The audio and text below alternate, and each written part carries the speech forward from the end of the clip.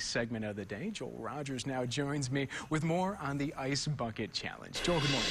Hey, good morning again, Dan. This past Friday, Moonbot Studios took part in the Ice Bucket Challenge. They called out Mayor of Shreveport, Cedric Glover. They called out Liz Swain, and they called out you, Dan Jovic. Now, let's take a look at the challenge. Here it is.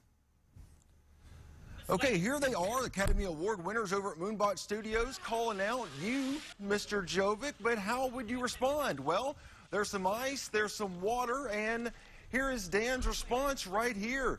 This was filmed over the weekend. Now, Dan also issued out some challenges. He challenged his wife, Jackie Jovic, and hey, look, the strapping young lad pouring water on him.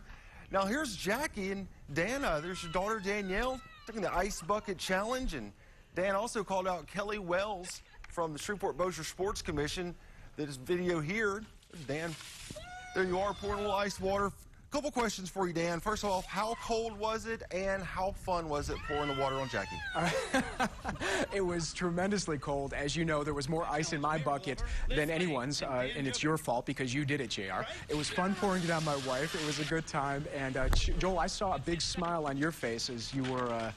Uh, you were taking care of business there with me, so um, something might be in order for you moving forward. I, I, don't know the specifics, but we shall see. Well, the pleasure was all mine, Dan, and you completely changed the game. It's supposed to be the Ice Bucket Challenge, and you changed it to the Ice Chest Challenge. Yes, that is true. Well, when you have someone who's six foot five willing to do it, you know that aids. You're a big, strapping young man, JR. So we figured we'd take advantage there of your, your physical abilities. Job well done, Dan. Yes, always, JR.